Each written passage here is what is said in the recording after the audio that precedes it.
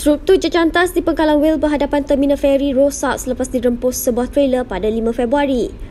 Kejadian kira-kira jam 4.20 petang turut menyebabkan trailer itu tersangkut di bawah jejantas berkenaan kerana melebihi ketinggian ditetapkan iaitu 5 meter. Juru cakap Pusat Gerakan Operasi Jabatan Bomba dan Penyelamat Pulau Pinang berkata pihaknya menerima panggilan pada jam 4.29 petang sebelum menggerakkan jentera dari Balai Bomba Lebuh Pantai ke lokasi kejadian. Sebaik tiba pihaknya mendapati sebuah trailer dengan muatan jentera berat merempuh jejantas menyebabkan jejantas terbabit sengit. Katanya tiada mangsa yang terbabit dalam kejadian itu.